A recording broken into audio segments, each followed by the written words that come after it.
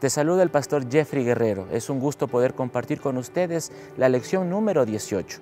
Y quiero compartir, queridos amigos, que después de que entró el pecado a este mundo, eh, siempre hubo la lucha entre el bien y el mal. Y mientras más va pasando el tiempo, estamos nosotros expuestos a los ataques del enemigo. El libro de los Hechos, en el capítulo 16, versículo 31, dice lo siguiente. Ellos dijeron, cree en el Señor Jesucristo y serás salvo tú y tu casa.